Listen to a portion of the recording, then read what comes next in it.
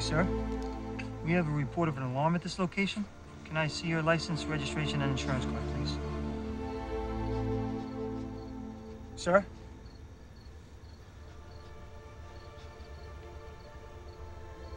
Get out of the car.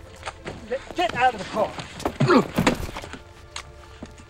Go call for backup. Get backup. Got it. What were you doing in there, huh? Got anything on you?